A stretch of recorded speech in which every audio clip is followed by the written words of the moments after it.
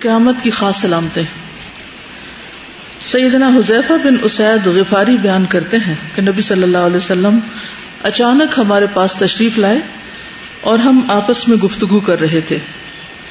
آپ نے دریافت کیا کہ تم کیا گفتگو کر رہے تھے؟ ہم نے جواب دیا، قیامت کا تذکرہ کر رہے تھے۔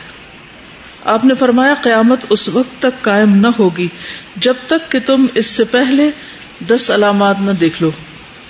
چنانچہ آپ نے ذکر فرمایا، دھواں تجال دابت الارض، سورج کا مغرب سے طلوع ہونا، عیسی ابن مریم کا نزول، یاجوج اور ماجوج کا ظہور، اور تین مرتبہ زمین کے دھنسائے جانے کا ذکر فرمایا۔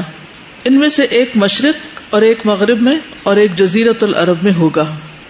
اور ان سب کے آخر میں یمن سے ایک آگ نکلے گی جو لوگوں کو میدان حشر کی جانب دھکیلے گی۔ تو آپ صلی اللہ علیہ وسلم نے اس حدیث میں جو ترتیب بتائی ہے وہ کیا ہے؟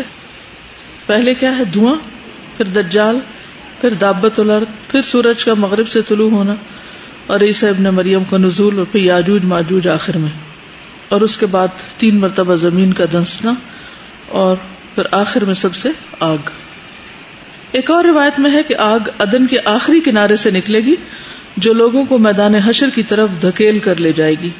ایک اور روایت میں دسویں علامت کے طور پر آندھی کا ذکر ہے، جو لوگوں کو سمندر میں گرا دے گی۔ یعنی ہوا جو لوگوں کو سمندر میں گرا دے گی۔